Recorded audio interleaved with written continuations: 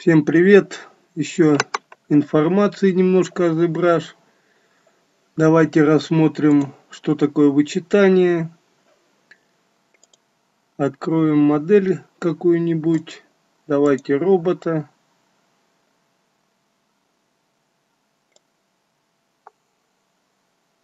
Вот такой робот у нас есть.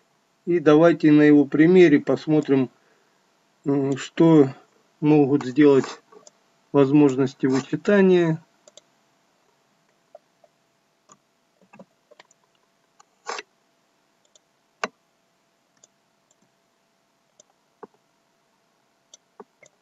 Когда вы будете что-то моделировать, делать какую-то модель, у вас, возможно, появится такая проблема. Когда вы будете работать резкой, у вас будет получаться вот так вот. Вы видите, что неровно выбрано, э, с округлением, не очень хорошо. Ну давайте теперь посмотрим, как можно это все сделать с помощью вычитаний. Отрежем голову.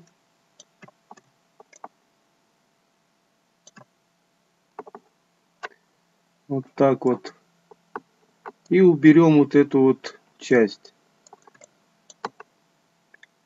Для этого нам понадобится сделать Dynamesh. Она у нас сделана. И добавим давайте куб. Переключимся на него и сайзом уменьшим. В деформации size, быстрее все делается. И с помощью MOV перенесем вот на это место и прибавим размеров ему. Вот что-то в таком духе у нас будет получаться.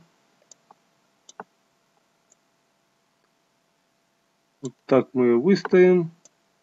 Теперь немножко ее выровняем.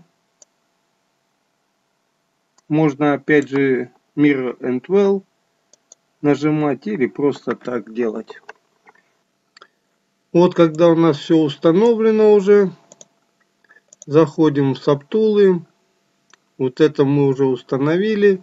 Переключаемся на нижний сабтул. И ставим, заходим в поле группы и жмем Group as Dynamesh Sub. Вот, Dynamesh Sub. И теперь что мы делаем? Переключаемся на верхний сабтул, нижний включаем и снимаем маску. Ctrl левая кнопка мыши. Ждем пока все это прогонит. Вот такая выборка у нас проходит. Вы видите, что ровно все. Это все можно будет обрезать и потом уже сюда подставить какую-то деталь, еще добавить резки. Все ровненько, хорошочко. Давайте теперь посмотрим все это на примере сферы. Так, откроем нашу сферу. Сделаем Make Polymesh. Теперь давайте добавим еще одну сферу Append. Можно добавить куб переключаемся на нее. Э, теперь что делаем? Включаем MOV и вот так вот вытягиваем. Можно изменить размер, вот так вот уменьшить.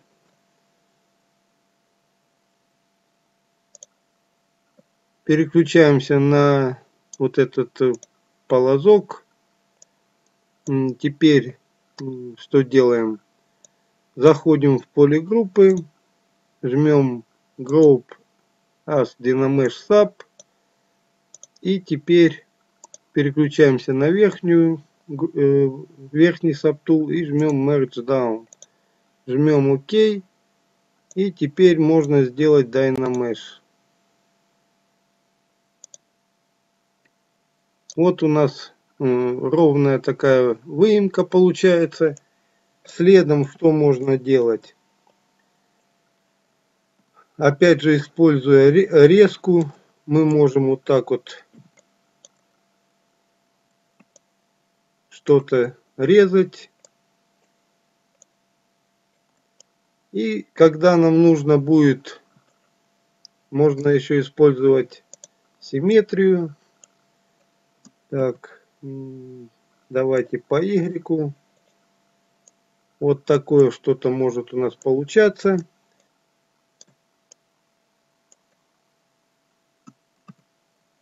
Сделать, допустим, шлем. Добавим сферу. Переключимся на нее.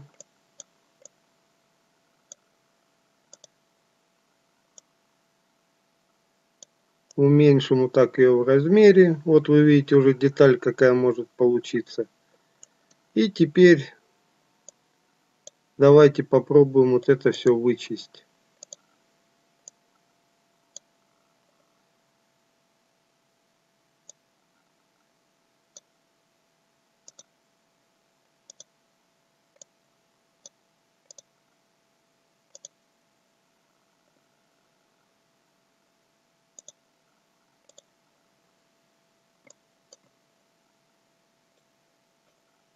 И сделаем Dynamesh.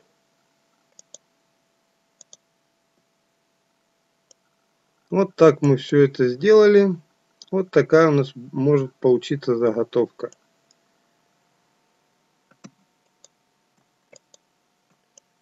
Вот так можно работать с помощью Ctrl-Shift и левой кнопкой мыши. Так, что еще можно сделать? Можно добавить теперь куб. Сделать так size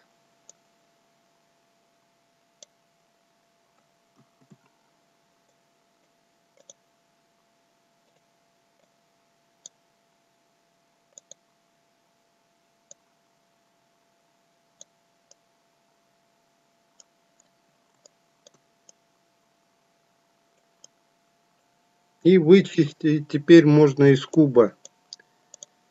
Переведем вот этот куб наверх и вычтем вот эту вырезанную сферу теперь из него.